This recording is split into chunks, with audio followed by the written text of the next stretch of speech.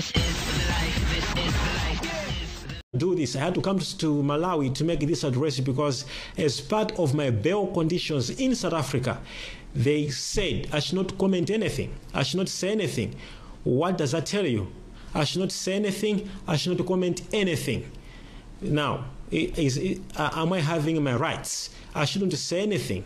We have got hum, uh, human rights, and one of the rights is, you know, freedom to speech and expression. I can't express myself. I can't express my feeling over this case because they said I should not say anything as a bail condition. One of the bail conditions which is so and, and, and greatly criticized judicially is that they said I must not directly or indirectly be uh, uh, in touch or communicate or talk to any state witness. Well, I have no problem with that, but who is that state witness? They never told me who is a state witness. Now, you tell me if I'm in South Africa, if I talk to my driver, do I know? Maybe he's a state witness. If I talk to my neighbor, do I know? Maybe he's a state witness. This is why I had to leave the country because I don't know who is a state witness. Because one of the bail conditions, I must not talk to any state witness which is anonymous. Now, how would I live in the country?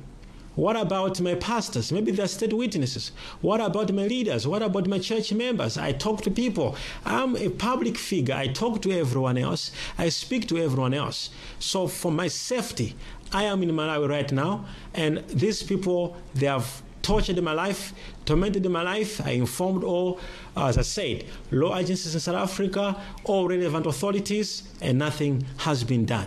So I'm back home to inform my government to look at it that I have a fair trial in South Africa. I hope my government will listen to my to, to my formal communication and to me as I'm not yet in touch with my government. Uh, they were away when I arrived here. They were not in the country. I hope this communication is gonna uh, uh, get into uh, uh, the knowledge of my government, and my government is gonna take it up to make sure I have got a fair trial in South Africa.